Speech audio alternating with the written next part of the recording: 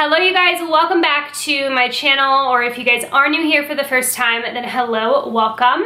In today's video, we are doing a very requested video of going through all of my Rae Dunn. So I have gotten rid of a bunch of my Rae Dunn pieces over the last couple months and I didn't share with you any of that process. I think in a previous vlog I might have shared with you the few things that I was getting rid of, but I wanted to go ahead and pull everything down onto my kitchen island to really see what I had and make sure that when we move, I'm going to be keeping things that I absolutely love and will still use. Now today is a very gloomy, rainy day outside in Colorado. It has been raining pretty much every single day this weekend. We've had some crazy storms, so it's very gloomy and instead of being lazy and watching movies all day, I decided to be a little bit more productive with my day. So I hope that you guys enjoyed this video. I would love to know in the comments down below if you guys still collect Factory done or if you are phasing out of it as well.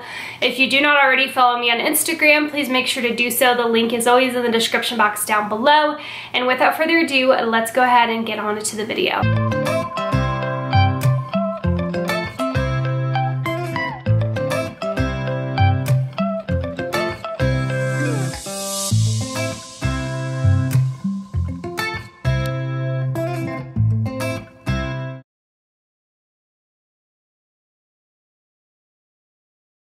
So we are going to set up our new package that we got in the mail. This is from Narwal. If you guys have never heard of what a Narwal is, it is the world's first self-cleaning robot mop and vacuum. It auto-detects dirtiness and it returns to its station to clean and restarts after. So I'm very excited to try this out, get everything set up. I desperately need to mop my floors, so we're going to see how it does. Like I said, it should return to its little station to auto clean itself. So I've never seen anything like this before, so we're gonna put it to the test in today's video. I will have a link in the description box down below for you guys if you are interested in checking it out. Let's go ahead and set this thing up and I will show you guys how it works. All right, so now that we have the app set up, I wanted to show you guys kind of what came in the box. So this is the actual robot vacuum and mop, and then these are the attachments for the bottom. So this is the attachment for the vacuum, and it does come with these extra pieces as well if you do need to replace them.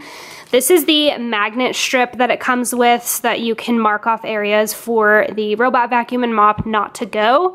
And then these are the attachments for the mop. So it comes with two here and then two of the replacement ones as well. So all you do is just take these little guys off and you replace them with these. So like I said, I'm gonna go ahead and put this on. We've got this big guy plugged in. I need to fill up this right side with clean water. As you can see here on the top, the left is wastewater, the right is clean water. And then we will try out the mop portion of the robot. So I just wanted to show you guys the map now that it's done. This is so crazy. I cannot believe the technology of this thing. This is like a total layout of my house. It is absolutely crazy. It's pretty much going right up to the objects in the kitchen as you can see. So it is getting a pretty good clean going right up next to this. So it's doing a pretty good job, but I'm gonna go ahead and put on the mopping attachment and see how that goes. All right, it's coming out. Yep, looks like it's wet. All right, Let's see how good this bad boy does. Is it mopping right now? Uh-huh. You see the water? You can see it's... Barely. Oh, now I see. Yeah, it's making a trail. oh, cool. Lazy people mopping. I'm all for it. Gets so close to things. Like right up. That's that. pretty good. Like its sensor is amazing. If you guys are interested in getting one of these of your own, I will have a link in the description box down below for you guys to shop. I'm super excited about this thing, especially in the new house. it's gonna be awesome. So make sure to check the link in the description box, like I said, down below to check it out. So we're going to be starting above my fridge. So I do have this colander. This is the Icon collection. I do plan on keeping this just because I don't really feel like it looks super right Rae Dunn. It doesn't have the long letter on it. So I am going to be keeping that, but I'm going to move this so we can open the cabinets above it or behind it and we can see all of my Christmas decor that we have in there. So now that we have this open, this is where a lot of my holiday stuff is. So I have my Christmas up top, my Halloween, and then my Valentine's Day stuff. So I'm just going to take everything out. I am most likely going to keep those three things that I have for Halloween. I do also have some mugs in another area, so I will grab those, but I'm just going to take everything out so I can see everything set out on the counter so that I can go through. I have gone through a ton, like this whole entire cabinet above my fridge was filled with just Christmas stuff, so pretty much limiting it to this up here is pretty big. So I'm gonna pull everything out and then we will look through everything.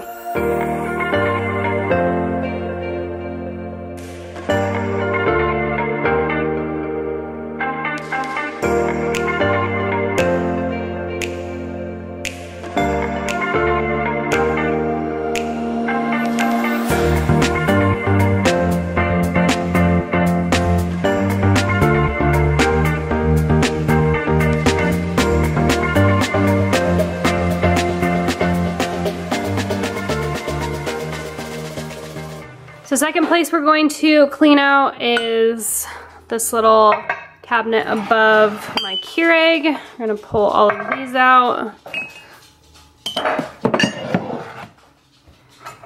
I really don't drink coffee very much. I drink it maybe like a couple times a month. So probably gonna try and get rid of some of these, but like this mug has a lot of sentimental value because me and my mom, this is our saying, so probably gonna keep things like this one. Let's move over to here. So this is the current setup that we have. And then we also have, I don't know if we have any, there's not any Rae Dunn back there, so we'll leave all that. Um, just a couple mugs under here. So you wanna take those two up there? Have my little mugs from Target. These are my favorite. We're gonna leave those in there though. Grab all these and then we'll bring them up there. I also wanted to show you guys too, on this side we have, we have the Halloween bowls here, which we'll grab in a second.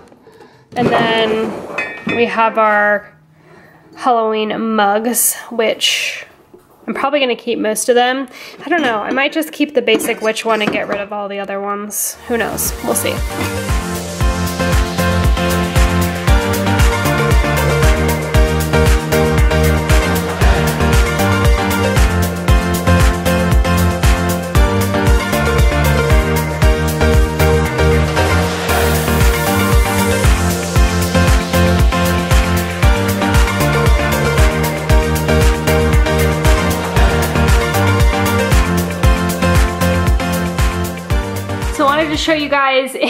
this cabinet above the microwave.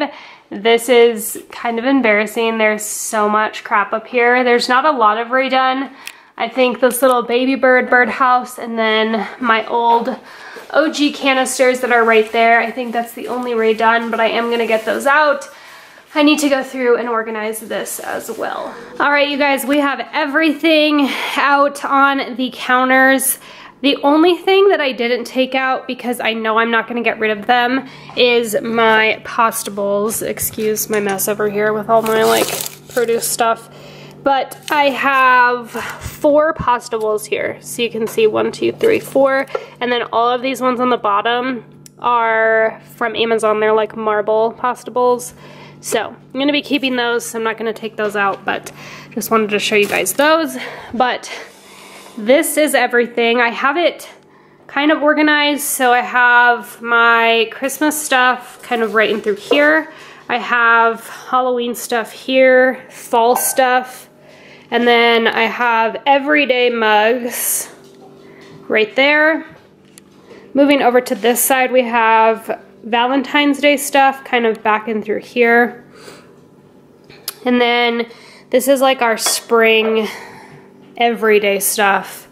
Um, so I do have like my OG canisters here, which I think I'm going to keep. I really just haven't gotten the courage to sell these yet. I still really love them. Love the dimples on them and I think they would look really good in our new kitchen with all the black and white. I do have some birdhouses kind of scattered here and there. And then some more everyday stuff over here. These are our cereal bowls. I am not opposed to getting rid of these, but I need to get some new bowls before I get rid of them. So we shall see. Salt and pepper shakers. I really like these, especially for the new house, the black and white. I have my bake pan, which I don't have a baking pan like that, so I'm just really unsure of what I want to do. I am going to try and get rid of as much as I can. Probably not going to be a ton, but um, also wanted to show you guys this. A lot of you guys have asked me about this. I used to use it in my decor a lot and now I don't really use it. This just kind of holds my mini mugs on here, so I'm not really sure what I want to do with this. I kind of want to keep that, but we shall see. We're gonna start going through things and getting rid of some stuff. It still amazes me. I'm gonna go through and like count everything, but there is definitely over like a hundred things here, I'm sure. So we're gonna start weeding through everything and then I will show you guys what I decide to sell. All right, so we have everything back in the cabinet above the fridge. I did fit everything in here except for the things that are going to be displayed. So Halloween and fall is here. We have Christmas, Valentine's Day, everyday canisters, some Christmas back there, more Valentine's Day, and then a couple everyday birdhouses. So it is full, but when you really think about how much I have gotten rid of, I know it's still a lot, but kind of breaking it down, I only have like four mugs for Christmas. I have three mugs for Halloween and three mugs for fall, and then two mugs for Valentine's Day.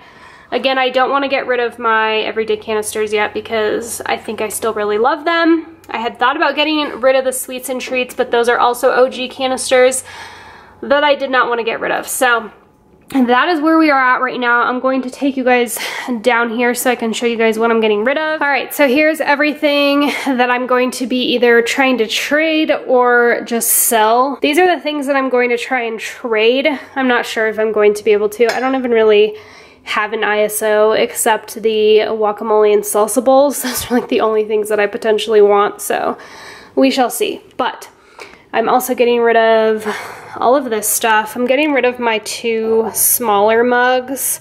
I'll show you guys the size difference of them. I don't know if you guys can tell so much on camera, but the newer mugs are just so much bigger than the older mugs, but it is time to get rid of them. Getting rid of my family pumpkin, my coasters for Christmas, a birdhouse, actually two birdhouses, my squeeze juicer, and then my coffee mug. So these will all either be getting sold or traded, most likely all sold. So yeah, I feel like I got rid of a decent amount of stuff and I'm happy that everything is in one cabinet now so that I don't have to go to a million different places to find all of my Rae Dunn stuff. So I'll show you guys over here. This is pretty much all empty here now. I can just move actually all of this stuff up here since there's no reason to have things in two different places. So just gonna move that stuff up there, put that back, and then on this side, there's just a few decor pieces in this one, and then in this drawer we have just a couple decor pieces as well and my little potion bottles for Halloween. So getting there, trying to go through a lot more things before we move. I need to go through this one because this drawer is a disaster, as you can see. So, anyways, are you in the pantry? What are you doing? this thing is tiny and he fits in there. This is one thing I cannot wait until the new house. We're gonna have a much bigger pantry. Look how small this thing is. How do you fit in there? I don't know. Can I try? I go skiing mode. Let me try, Charles. Move, This does not make me fatter. Can you guys both fit in there? No. Try. I can be able to turn it here. See if you see if you guys can both fit in there. I bet you can. Okay. Oh, they both fit. You're sticking your butt out. oh. It didn't really hurt, by the way. You guys, so that is it for today's video. I hope that you enjoyed this decluttering of my Rae Dunn, and I hope you enjoyed seeing the new Narwal self-cleaning robot vacuum and mop. Like I said, the link to purchase or check out the Narwal will be in the description box down below. I'm so excited to keep using it in this house and our new house. I would love to have a conversation with you guys down below, letting me know if you guys still collect Dunn, and also let me know what you think of the Narwal robot vacuum and mop. I'd love to hear your guys' opinions on that. Thank you guys so much for watching as always, and I will see you in my next one. Bye, Stimmer Bliss.